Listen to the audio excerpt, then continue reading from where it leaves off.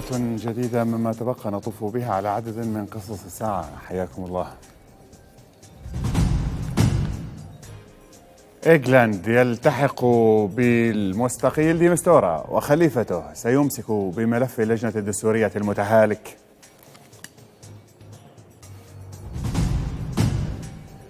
ممثلة بمحكمة النقد ممثلة بمحكمة النقد حلب الحرة تشهد ولادة أعلى هيئة قضائية.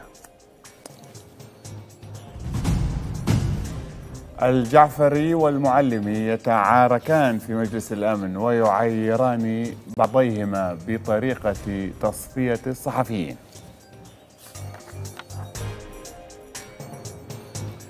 على ذمته الشخصية ولا شيء ملموس بعد.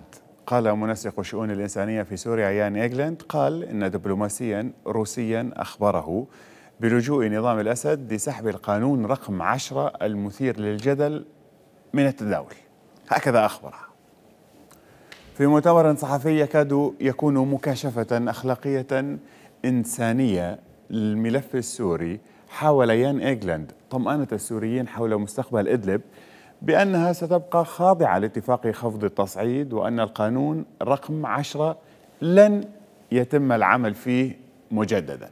جميل. ينتهي المسؤول الأممي بإعلان استقالته من منصبه ليلتحق بذلك بالمبعوث ديمستورا. وكثيرون قبلهما مر على الملف تأثرا أم أثرا؟ هذا السؤال العريض تأثرا أم أثرا؟ شأن آخر.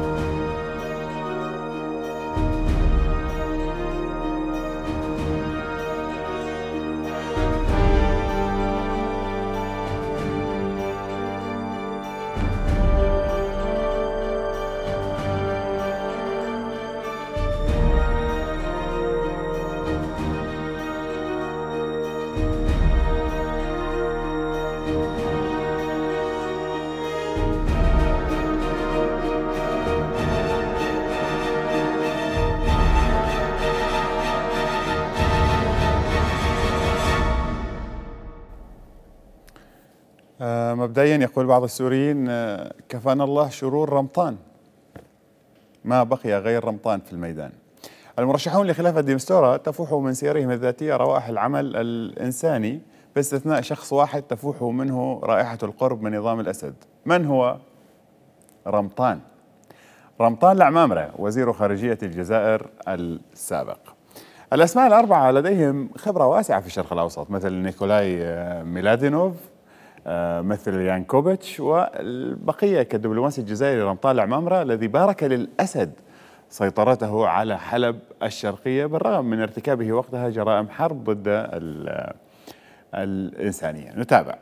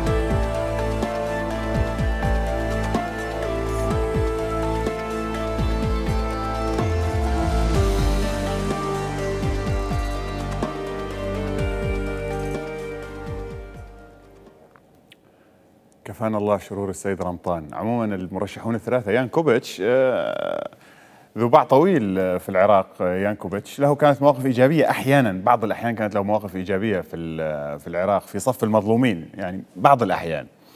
آه، ستيفن آه، ديمستورا حاول البقاء كما يقول بعض المراقبين حاول البقاء أكثر قدر ممكن. ليس كرمى لعيون السوريين ولا كرمى لعيون أحد. كرمى لعيون جيوبه فقط هكذا يقول بعض المراقبين هو لا حليف فلان ولا حليف علنتان. طبعا هو اصطف يعني صفافات واضحة مع الروس والإيرانيين وأصبح في لحظة من اللحظات ناطق باسم وزارة خارجية النظام. لكن آه، بعض المراقبين يقولون أنه اصطف بالمقام الأول آه، مع آه، مع جيبه وجيبه فقط. البعض البعض يقول إنه تغيير ستيفن ديمستورا الآن في هذا الظرف قد ينبئ بمرحلة جديدة ربما تكون أمميا قانونيا آه، مشاوراتيا أقل سوءا من المراحل المنصرمة. هكذا البعض آه، يتوقع. على كل حال آه، ليس من الواضح بعد ماذا سيحصل بمشروع اللجنة الدستورية وهو يعني در التاج ديمستور هذا اللجنة الدستورية. مشروع اللجنة الدستورية أعلنته روسيا يعني وتبناه وسوق له ديمستورا عبر العالم. لكن المعارضة اليوم تتحدث عن شروط يضعها النظام لتشكيل هذه اللجنة. يقول نصر الحريري إن النظام اشترط أن تكون له الأغلبية في اللجنة الدستورية وأن يحوز على حق الفيتو فيها وأن تكون الرئاسة بيده. طيب لماذا كان اللجنة ما تبقى من هذه الشروط هذا؟ وهل يمكن أن تتبقى شروط غير هذه الشروط؟ نتابع.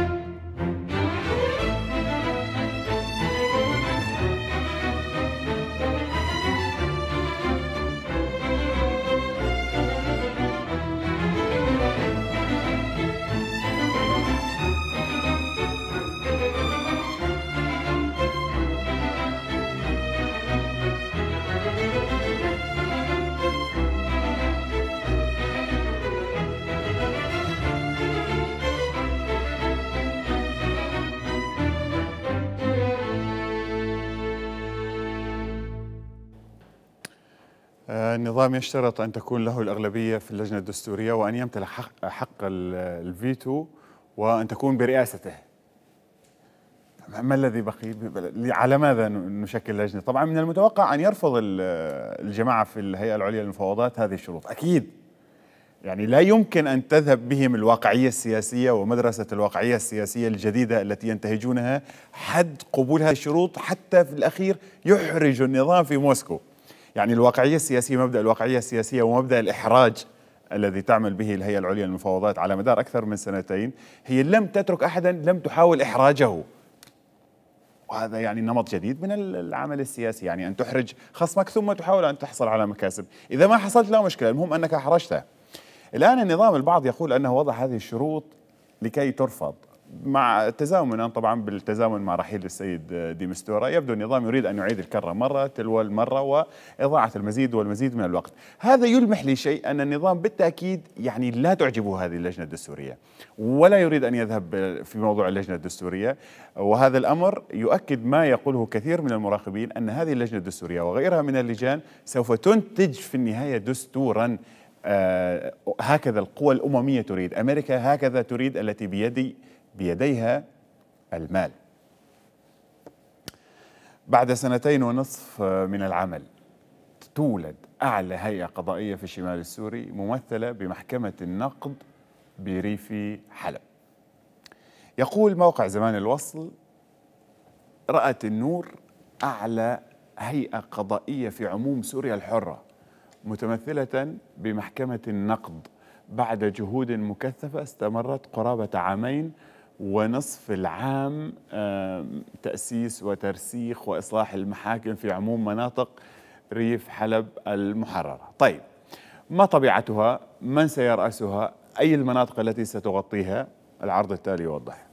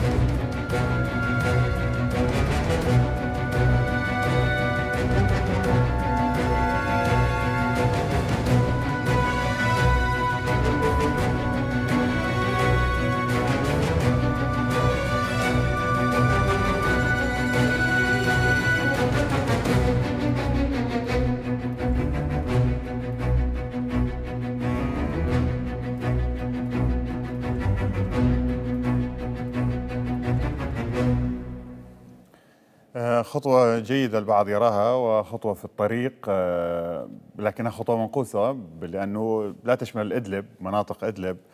آه، لماذا لا تشمل مناطق إدلب؟ طبعا السبب واضح ومعروف.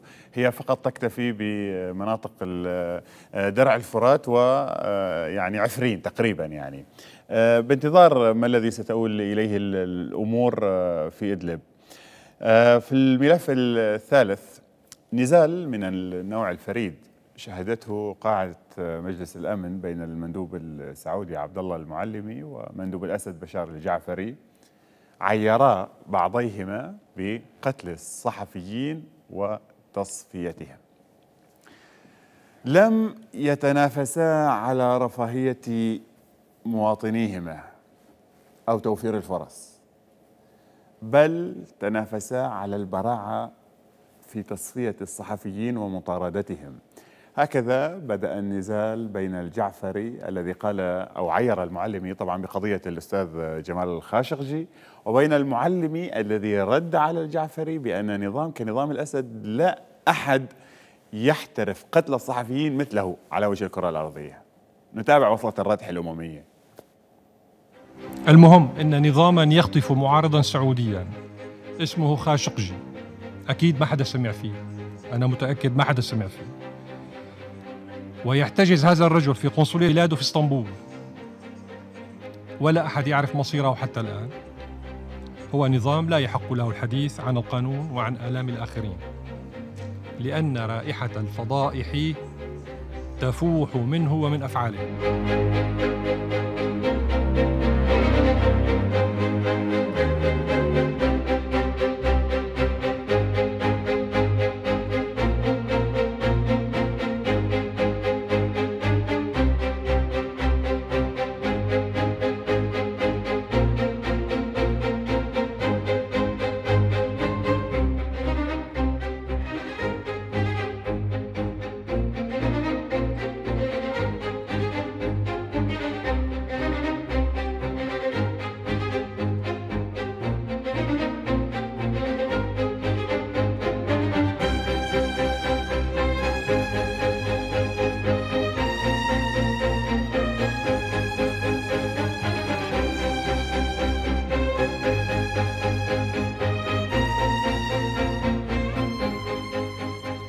سيد الرئيس ترفض بلادي التدخل في سوريا من قبل النظام الإيراني بأي شكل من الأشكال.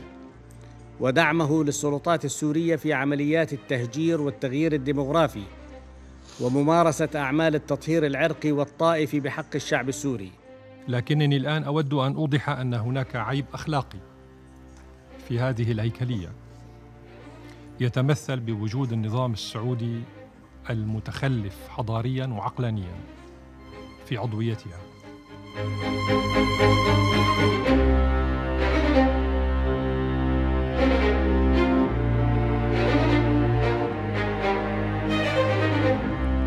في هذا الصدد نؤكد على ضرورة الإسراع في تشكيل اللجنة الدستورية للبدء في كتابة دستور سوريا الجديد ودعوة الشعب السوري كافة في الداخل والخارج لانتخاب حكومته تحت إشراف الأمم المتحدة وبشكل موثوق وشامل. أنتم تعرفون أن السعودية لا يوجد لها دستور وليس لديها برلمان. ولا اسم للبلاد حتى. اسم البلاد هو منسوب للعائلة الحاكمة.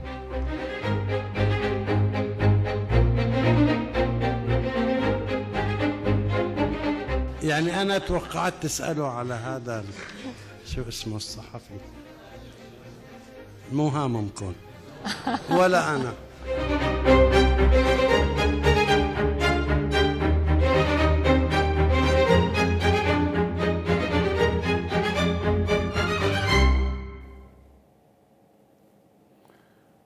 آه، أن يخرج الجعفري ويعير عبد الله المعلمي بقضية آه، جمال خاشقجي ويطالب به مثلا أو يعني هذا أمر يمزق المعثكلة مبدئيا. هذا أمر آه، يعني الكرة الأرضية بحاجة إعادة تأهيل بحاجة يعني إعادة إقلاع من جديد. الحياة كلها يبدو لأنه أن يخرج الجعفري في منبر أممي ويخاطب السعوديين بهذه الطريقة ويخاطبهم بحق طبعا يعني. أين جمال خاشقجي؟ بالتأكيد يعني. فهذا أمر آه، أقل ما يقال للسعوديين من وضع نفسه مواضع الشبهة فلا فلا يلومن الناس على سوء الظن. فلا يلومن الجعفري على السيل أو على التقريع الذي آه، تلقاه. قد يختلفان في الطرق والأداء لكنهما متشابهان في إيداع الصحفيين والناشطين في السجون وإغلاق الأبواب عليهم لأجل آه، غير مسمى. هكذا كانت مكانة الصحافة. في آه، سوريا والسعودية. الحقيقة مكانة الصحافة في العالم العربي أجمع آه، تغيرت. يعني من الظواهر المدهشة هي هذه ظواهر مدهشة الآن تحدث في العالم العربي الآن أن تستضيف وسائل إعلام عربية بعض المحسوبين على نظام ليطالبوا بإظهار الأستاذ جمال خاشقجي. يعني هذه من الظواهر المدهشة لا شك. سوريا طبعا في ذيول القوائم العالمية لقوائم مراسلون بلا حدود والشفافية الدولية وحرية التعبير والإعلام. هذه سوريا نفسها التي تعير الدول بحريات التعبير وتطالبهم بمساحات أوسع للنشر. نتابع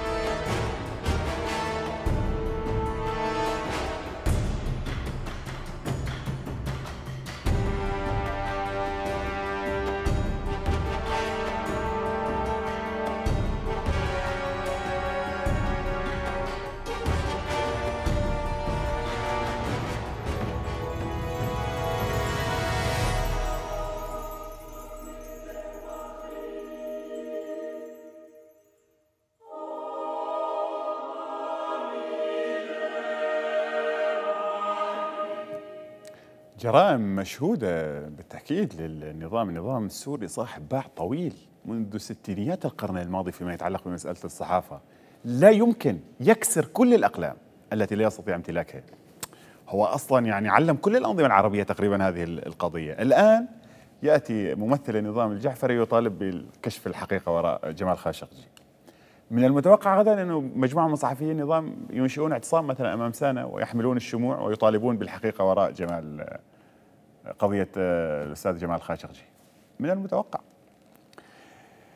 يفتتح مركز قلوب صغيرة في بنش بريف إدلب. يفتتح هذا المركز أو تفتتح فيه دورات تدريبية في مجالات متنوعة. تستهدف أكثر من 800 طفل لتعليمهم مهارات متعددة في مجال الرياضيات والعلوم. آه، يعتبر هذا المركز هو الأول من نوعه في الشمال السوري. مع قصة آه، مركز آه، قلوب صغيرة يعلمون الفتية في إدلب الرياضيات والعلوم. نكون قد وصلنا معكم إلى آخر قصصنا لهذا اليوم. الأحد القادم بإذن الله ما تبقى جديد آه، مني ومن فريق العمل أطيب التحايا. أمان الله.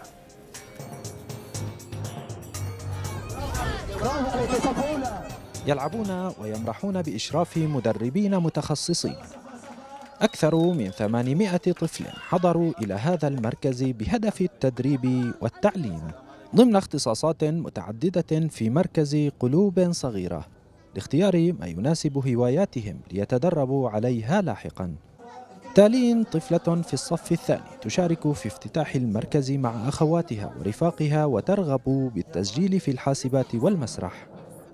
أنا صف الثاني وعمري 8 سنين وجيت على هاي جيت على هذا المركز يعني قالوا بدنا يفتحوا آه هيك نشاطات المركز وهيك آه في مكتوب وللمسرح وهيك شغلات كثيرة وأنا حبيت أسجل في بالمسرح وباللاكتوب يسعى القائمون على المركز إلى توفير بيئة ملائمة لتنمية قدرات الأطفال على مختلف الأصعدة.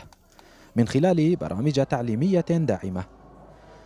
يعتبر المركز الأول من نوعه الذي يستهدف شريحة واسعة من الأطفال من خلال توزيعهم على مستويات عمرية واختصاصات متعددة. يخضعون للتدريب عاما كاملا. نقوم باستهداف آه، المتسربين من المدارس أو الذين انقطعوا عن المدرس عن المدارس لسنوات آه، آه، سنة أو سنتين نتيجة ظروف الحرب. رح يسجل عنا الطفل الأنشطة اللي هو بيرغب لها أو بيميل لها الطفل مخير إنه يسجل عنا من نشاط لثلاث أنشطة. طبعا نحن بنرتب هاي الأنشطة معه بحسب ما يتناسب مع دوامه في المدرسة وتواجده عنا في المركز. يركز المدربون على احتياجات الأطفال في مجالات الرياضة والعلوم والرياضيات لتنمية مهاراتهم الإبداعية من خلال أنشطة فنية وثقافية وتعليمية. استهدفنا الفئة العمرية الصغيرة كثير طبعا بسبب التكنولوجيا شفت سلاحية ذو حدين عم يتوجهوا الأطفال بشكل ما ما واعي للتكنولوجيا لهيك نحن أنا كدوري كمدربة رح فهمهم كيف يستخدموا الحاسوب بالصورة الصح والايجابي بكتب اسمك يا بلادي عالشمس الما بتغيب. تمارين تستهدف الأطفال وآبائهم تماشيا مع تطورات الحياة في الاتصالات والحاسبات ومهارات أخرى. كل ذلك من خلال تدريبات تناسب متطلبات هذا الجيل. قلوب صغيرة وأحلام كبيرة. جمعتهم أنشطة متنوعة بهدف التعليم والترفيه لتترك بصمة في عالم الطفولة. محمد عاصي تلفزيون سوريا مدينة بنهش ريف إدلب